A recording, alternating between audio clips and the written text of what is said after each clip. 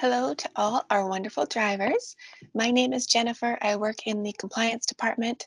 Um, I just wanted to do a quick overview and then get to your questions. Thank you for submitting some of those questions. And if you end up having a question after you've seen the video, um, etc., feel free to reach out.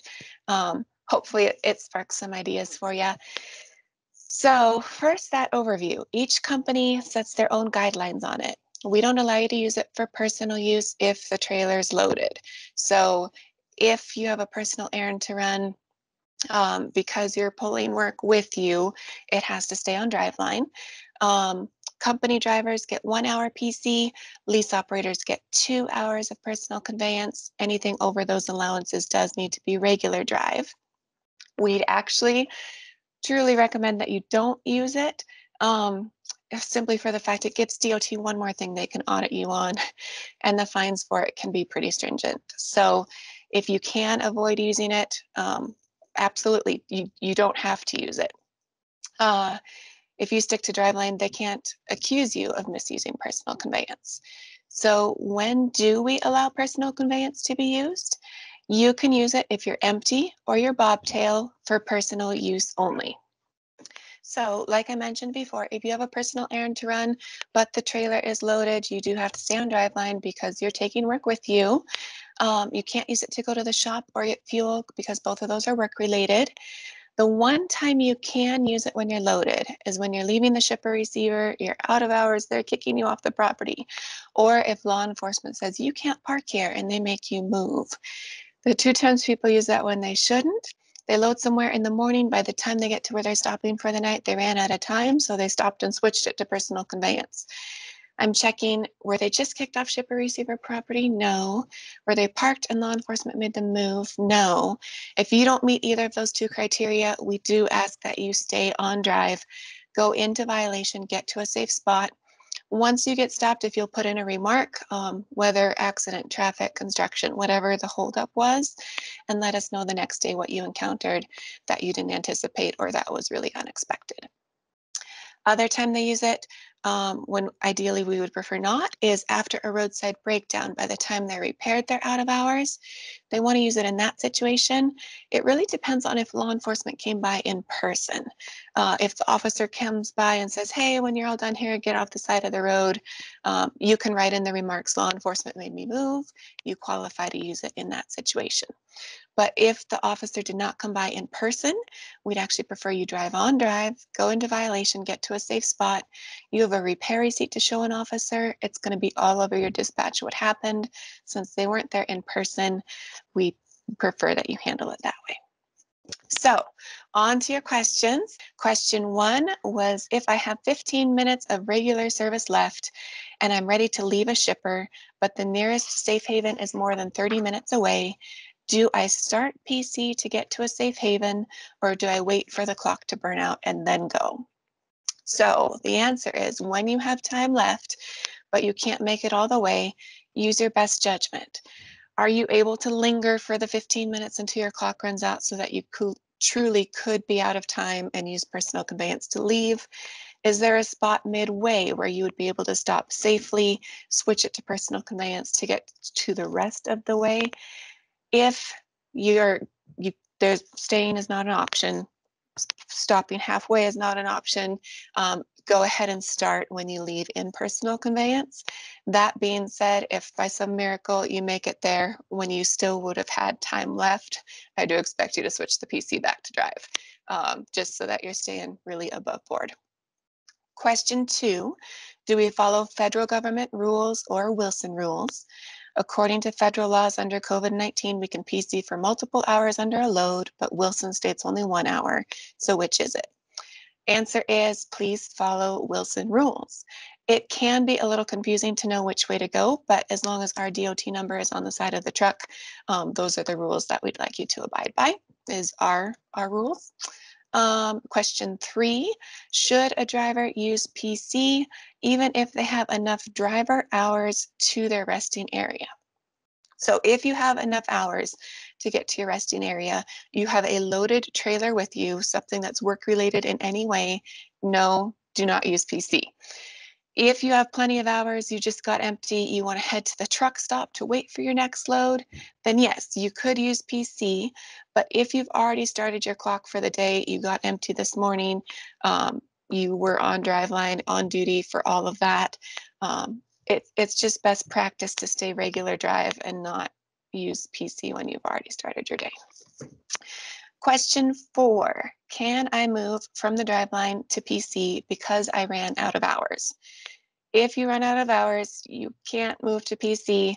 The only time the FMCSA notates safe haven is okay is when you're out of hours, you need to get to a safe spot after loading or unloading.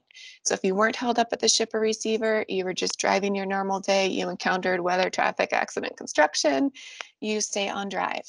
You're under load, it's work related, and like we talked about before, please put in a remark um, when you switch after finishing driving on what the situation was that you encountered. Um, not only is that something that helps the DOT officer, but it helps us here in the office as well. Question five, can I use PC on the customer's property to move the, to the dock because I'm out of hours? As far as using PC on the customer property, no, it is not a personal movement. It's a work related movement. Please use yard move as long as you're on private property.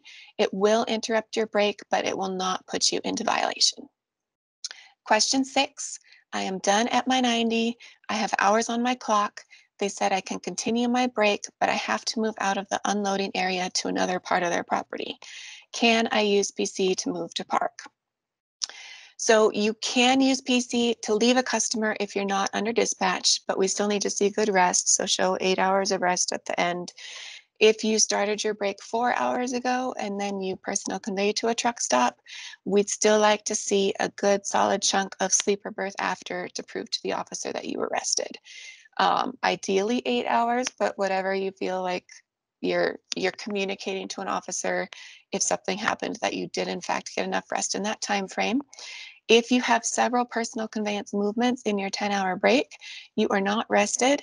And this is discoverable information if you are involved in a crash and it goes to court or that next level of things. Question seven. My fleet manager sent me a pre-plan. I have not yet sent in my confirmation. I am done at my 90 and I don't want to stay here. Can I PC to my favorite truck stop that's 40 miles away and just happens to be a mile away from my load if I do end up, in fact, accepting that load? So, uh, no, once you have knowledge of a possible load, personal conveyance in the direction of the load is not permitted. So, don't don't try to be sneaky, please. Just stay really above board so that you're not jeopardizing yourself or us. Question nine, I am out of hours at the customer. I do not want to complete my break here, even though they will let me. Could I use PC? So if you're out of hours and they will let you stay on site, please stay there. FMCSA shows the resting location must be the first location reasonably available. And you're already there. You are already at that closest, safest location. Um, question 10, I left my receiver under dispatch. I used personal conveyance to Safe Haven to the closest rest area and I completed my 10 hours. Now I'd like to travel to a truck stop that's 30 minutes away and eat at their restaurant. My appointment at the shipper isn't until late tonight, so I don't really want to start my 14 hour clock this early in the day. Could I personal convey to that restaurant? So the answer to this one is you are under dispatch, you completed your break, you want to run a personal errand. You you can't use PC to extend your day. It would be better to use Driveline and then do a split, 7382, if you're looking to extend your 14 hour clock. If you're doing it that way, then you're doing it within DOT's rules. If you do it the other way, um, then you're kind of opening yourself up to some liability. So please don't use PC to extend the day. Next question, I am bobtailing. Since I'm bobtail and I don't have a trailer with me, I can PC all the way to the customer, right? Answer to this one, you want a PC to the customer just because you're bobtail. This is still a work-related movement and it needs to be driveline. Next question, I dropped my trailer. I went on home time. Can I personal conveyance to return to work? Um, I will end up picking up a different trailer than the one I originally dropped. So the answer to that is using personal conveyance to return to work. If you're one of our long haul guys, then no, not really. You're using it, you're extending your 14 hour clock. It's not a return movement to the exact same trailer since you're getting a different trailer. And personal conveyance cannot be used to obtain an empty trailer because that's a work related movement. Next question, I am a local company driver. Can I personal conveyance home and to the yard each day? As a local driver, as long as you go to work at the same location, return to that same location that night, and you make sure you get enough rest in between your work periods, then yes, you are still limited to the time frame of PC that's allotted. So company driver, one hour, lease operator, two hours. As long as you can return and all of that in that time frame, then you're good. Question 14. With my previous previous experience at this customer, my shipper receiver does not have overnight parking. Am I okay to plan to use PC to leave when I'm empty since I already know that that's the situation? So the answer is using PC as your plan for leaving a customer is not actually ideal. You want to budget the time you need to get in and out of the customer. If you don't have enough time for both, you shouldn't go in. The personal conveyance safe haven movement is for when the shipper receiver held you up, when you've been stuck because of their delay, not for when you pulled in two out two minutes before your clock stopped and now you're out of time. Um, you still want to do your trip planning. Using it the other way is, is an abuse of the safe haven rule and makes it more likely that a DOT would crack down. So do what you can to use it um, within those guidelines. Next question, I dropped the trailer in the Pacific Yard and I live in Bremerton, which is about two hours away. Could I use personal conveyance to go home? So the answer is if you live a ways away and you want to use PC to drive home, first as a company driver, you'd only get the hour to go home. So you don't have enough to go the full distance. And if you only have one hour left on your clock, we would not recommend using the one hour and then switching to personal conveyance and driving the rest of the way home. Because if you got in an accident, completely the other person's fault. They ran into you. You could still lose your livelihood livelihood over their poor choice simply because the lawyer would make the case if you hadn't been extending your day, you wouldn't have been in that spot at that time. So um, if you're going home long enough to get a restart, you have the hours available on your clock to get there. Just go home on Driveline. You're you're going to get the restart anyway. You're not saving anything. Driveline is definitely one less thing for DOT to audit you on. And ultimately, we do not recommend heading home unless you have the hours to do so. We just don't want you to open yourself up to that liability of being further than your day actually allotted.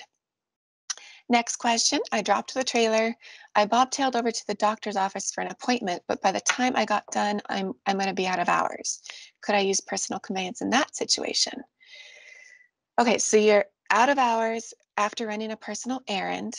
Um, do you have enough time um, from how your day got structured where you could turn it into a split? Uh, kind of again the same answer. We only recommend using PC if you for personal use, if you have the hours available to do so. Otherwise, the, the whole liability thing. So um, ideally, make sure that you have a plan in that situation. Next question, I got to the customer to deliver the load. They weren't ready for me. They wouldn't let me stay. So I personal conveyed over to the truck stop and back. Is that okay? So you're, you're saying the customer isn't ready. They sent you away. Question, did they let you drop the trailer at their location so that you bobtailed to the truck stop and back? Um, if yes, then you're you're okay because you left work at the work location. Um, and as long as you don't fuel when you're at the truck stop, you're not doing anything work related when you get there. If, however, you they didn't let you leave the trailer, you have the loaded trailer with you, you're bringing the loaded trailer back. Because you're carrying work with you, it still needs to be driveline, not personal conveyance. Next question, there was a personal, I'm sorry, there was a product claim on my load. I have three boxes of rejected product on the trailer and I have time on my clock. Since I don't have a load, could I use personal conveyance? So you still have product on the trailer, consider yourself loaded. You still have work on the trailer. It's not completely empty. In this case, you need to use driveline, please. And if you're out of hours, then the safe haven rule applies. But since you have hours, you have work with you, you do need to be in a working status. Next question, I did a 7-3 split.